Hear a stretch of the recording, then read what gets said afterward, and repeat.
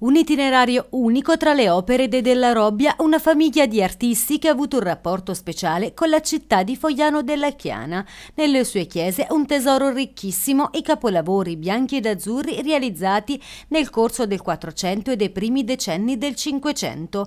L'anno robbiano, un viaggio fantastico tra le strade, le piazze e le chiese del borgo che parte dagli egizi e arriva sino al XVI secolo.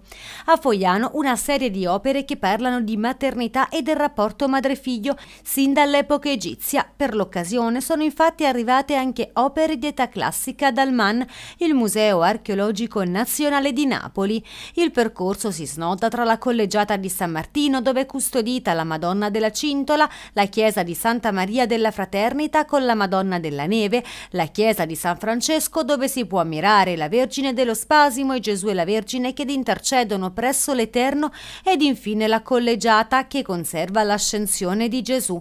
Sino al 30 settembre a Fogliano sarà dunque possibile immergersi nella mostra diffusa, ma non solo, saranno organizzati anche una serie di itinerari robbiani ed ancora convegni, incontri ed eventi che metteranno in relazione la storia centenaria della città e la contemporaneità.